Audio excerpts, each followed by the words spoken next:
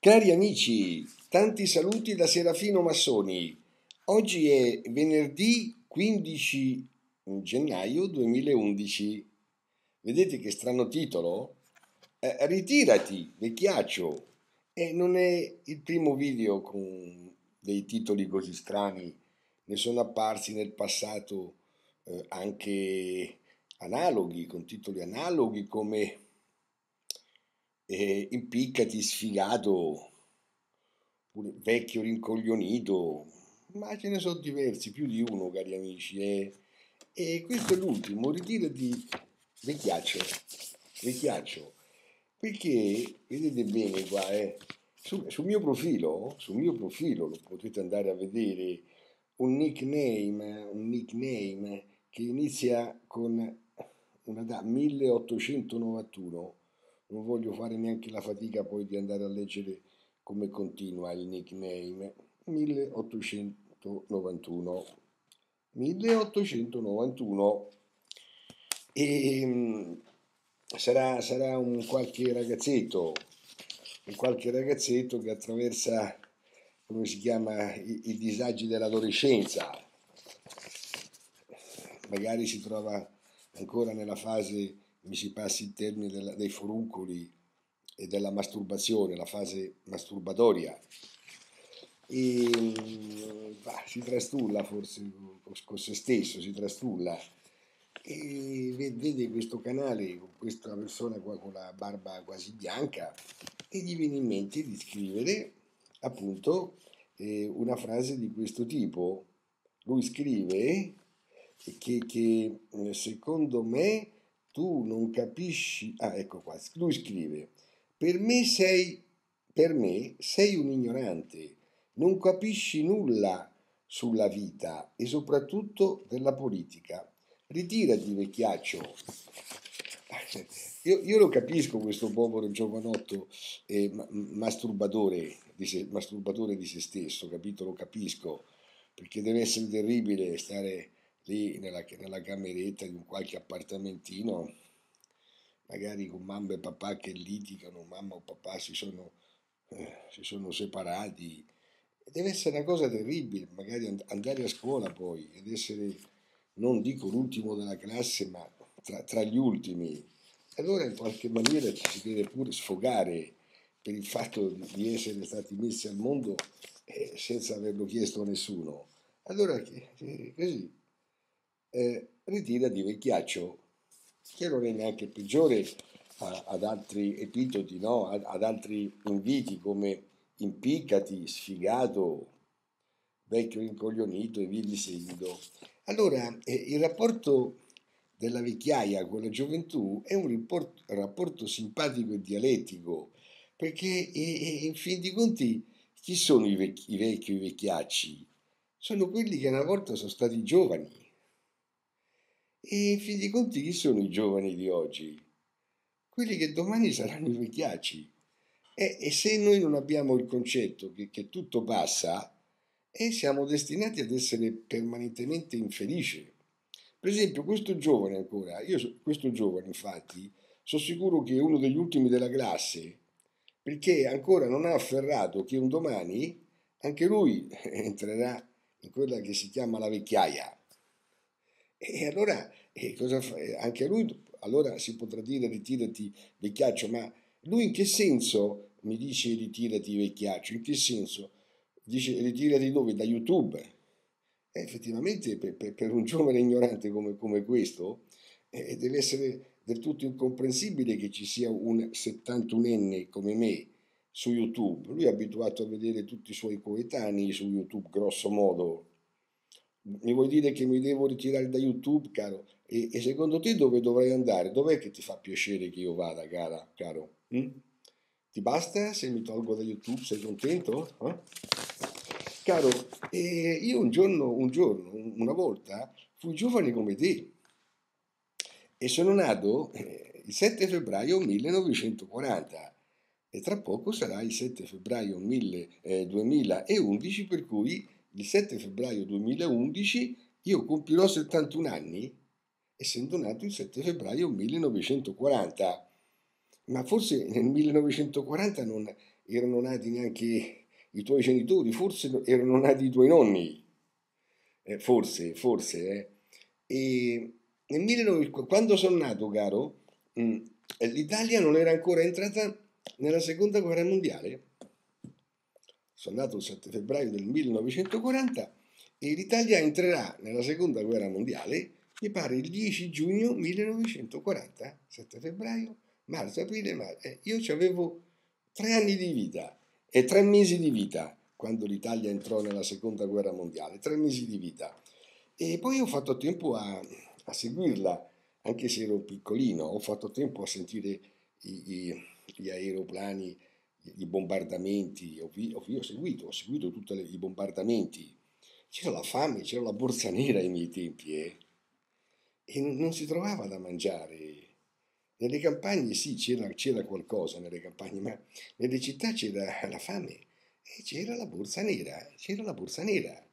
Chi aveva i soldi si comprava il cibo e chi non ce l'aveva eh, si mangiava le bucce, le, bucce, eh, le, le, le bucce delle patate.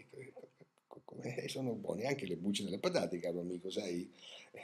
Bene, e quindi ho conosciuto i cinque anni, li ho conosciuti quasi tutti i cinque anni, anche se i primi eh, non avevo nessun tipo di consapevolezza, però verso il 44-45 eh, ho preso consapevolezza con, con la guerra. Eh, abitavo a Venezia, caro amico, abitavo a Venezia tra il 44 e il 45. A Venezia ho visto le camicie nere, ho visto le SS, eh?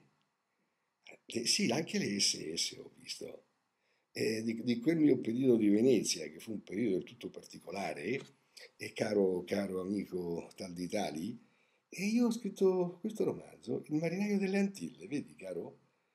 E ehm, questo romanzo è ambientato tra il 1915 e il 1933, è il periodo della nascita e della morte delle SA delle squadre di azione di Ernst Roma. Ecco, e, e alcuni capitoli di questo grande romanzo mitteleuropeo, dice, direi, e, e alcuni capitoli sono proprio ambientati a Venezia. Il capitolo iniziale è uno dei capitoli terminali, vedi?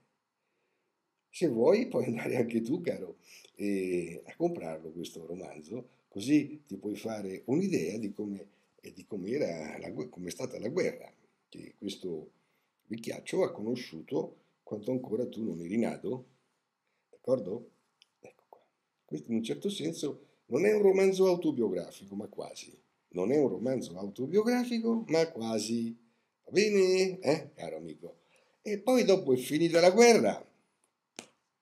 È finita la guerra e io cominciato a fare le prime elementari, le scuole elementari, poi ho fatto la scuola media, la scuola media inferiore, poi ho fatto la scuola media superiore.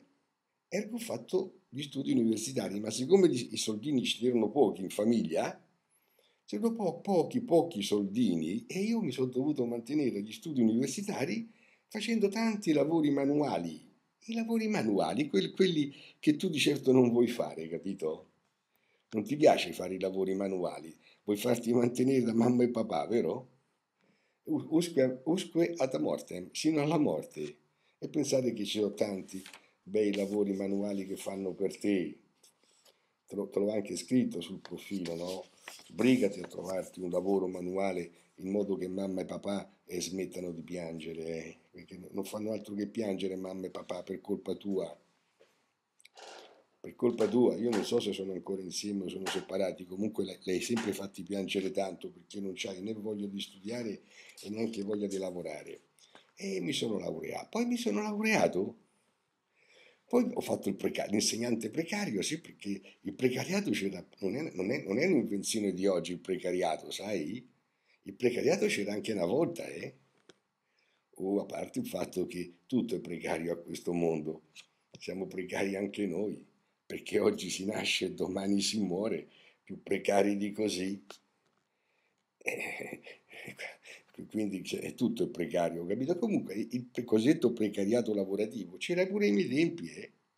Uno, fatti tanti, di, di, di, tanti, tanti anni di precariato.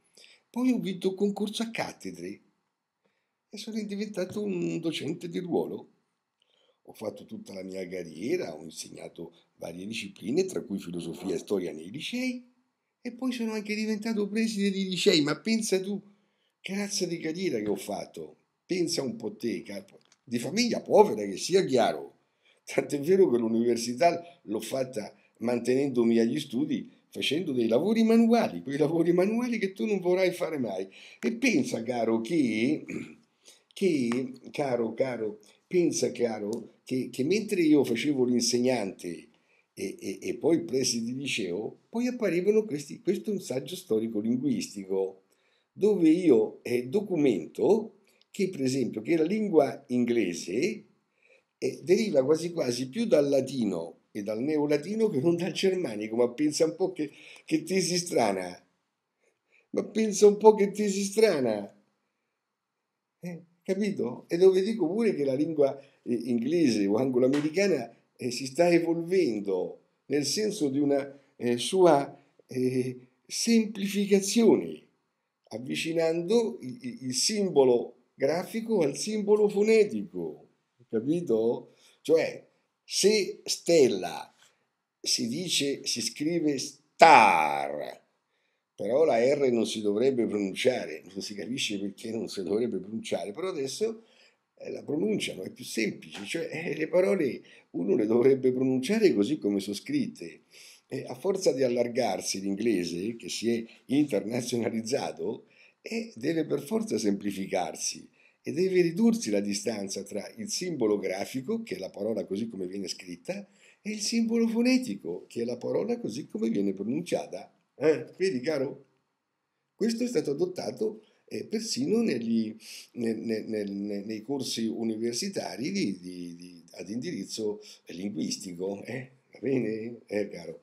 Poi dopo, Pizza, siccome mm, mi interessava tanto la questione della, de, de, de, gnosti, il pensiero gnostico, mi, interessava tanto il pensiero gnostico, gno, gno, gnostico e grandi gnostici nel Medioevo furono anche i catari o albigesi. Allora ho approfondito la questione e ho scritto questo romanzo, La lama e la rosa, vedi, vedi caro?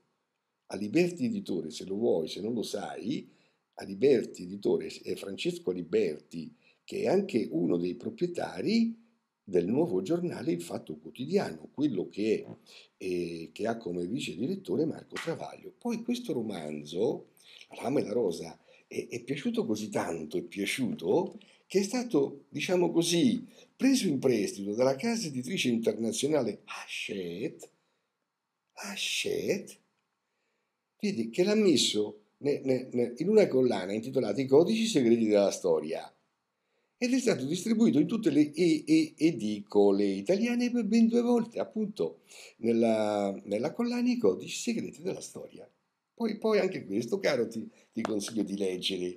Poi un'altra cosa, io non avevo mai capito come mai Annibale, Annibale durante la seconda guerra punica, dopo aver sbaragliato tutte le legioni eh, le romane, eh, tante battaglie al Ticino, alla Trebbia, al Trasimeno, a Canne, a Canne, a Canne, che carneficina, non avesse occupato Roma.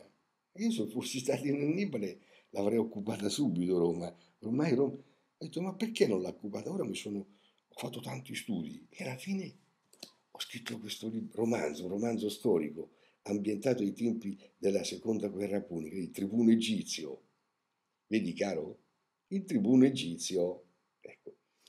E poi, eh, alla fine, caro amico, eh, Dulcis in fondo, eh, ho, ho, scritto quel romanzo storico-mitologico che, che, che, è un po' il leitmotiv eh, di questo canale, di questo canale. Eh, per cui, avendo questo canale che è così seguito, eh, tu non mi dovresti scrivere eh, ritirati vecchiaccio, e che lo vedi qu- qu- quanti giovani amici che mi seguono, perché caro mi dovrei ritora- ritirare? Ma sei tu che dovresti avvicinarti a questi romanzi, caro, ed uscire dalla tua solitaria attività masturbatoria. Eh? Smettila di far piangere mamma e papà, caro. Trovati un onesto lavoro manuale. Puoi andare, caro, a pelare le patate in un ristorante di sotto casa. Puoi andare a lavare i bicchieri in un bar sotto casa, ti prendi 4, 5, 10 euro al giorno. Meglio poco che niente, e così la smetti anche di masturbarti, capito? E caro amico, sapessi quante cose ci sono quando uno arriva ad essere un vecchiaccio? Caro, io non ti invidio, sai, per quello che ti aspetta, non ti invidio per niente, io la mia parte ormai l'ho fatta quasi tutta. Sei tu, caro, e io stai tranquillo che eh, ci pensa ci pensa eh, il destino a farmi ritirare, capito? Non c'è bisogno che te ne interessi tu. Tu piuttosto interessati di quel lungo pezzo di vita che, te, che ti aspetta ancora di vivere, di vivere. Eh? E pensa, pensa a trovarti un posto di lavoro, caro. Se a scuola non vai bene, lascia perdere, lascia perdere. Mettiti a fare un lavoro manuale. Vai a tenere compagnia ai nostri fratelli stranieri e comunitari o extracomunitari. Ci sono tante arance da raccogliere in Italia, tante olive, tanti pomodori. C'è bisogno di fare le pulizie, ci hanno aperto tante agenzie di pulizie. Ma vai a fare un onesto lavoro manuale e smettila di fare l'attività masturbatoria, caro amico, capito? Smetti di far piangere mamma e papà, o, o uno solo se stai con uno solo. Va bene, cari amici, ecco, e quando uno arriva a una certa età ha svolto, ha un certo numero di conoscenze e per cui capisce pure che esistono questi ragazzi eh, che, che, che, svolgono la solitaria attività della masturbazione, sono pieni di foruncoli e a scuola sono gli ultimi della classe e siccome si devono sfogare scrivono queste cose. Caro, ti ripeto, se vuoi star bene a questo mondo, sbrigati ad andare, andare a fare un onesto lavoro manuale, capito?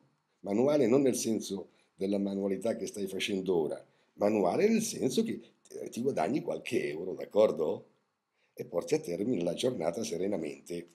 Va bene, cari amici, grazie se mi avete ascoltato e a tutti voi tanti saluti da Serafino Massoni.